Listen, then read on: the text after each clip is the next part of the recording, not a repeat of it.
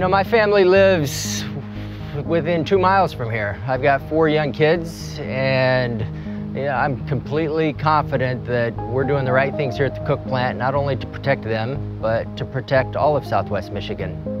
So we have roughly 1,200 people that work here, and then during refueling outages, we'll bring in another 1,000 to, to 1,500. To become an operator, you first have to have some prerequisite knowledge. You have to have some familiarity with the plant, thermodynamics, reactor physics, some chemistry, and then once you make it through the fundamentals, then you get into system-specific training where you learn about all of the individual systems. You end up in the simulator where you learn how to take everything you learned about those individual systems and roll them all up and, and figure out how to operate the plant in the, in the control room.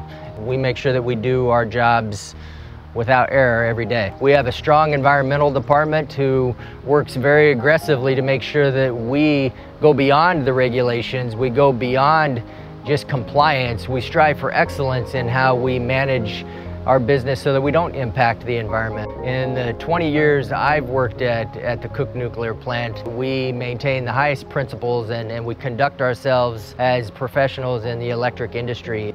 We understand how beautiful Southwest Michigan is and we do everything to protect that.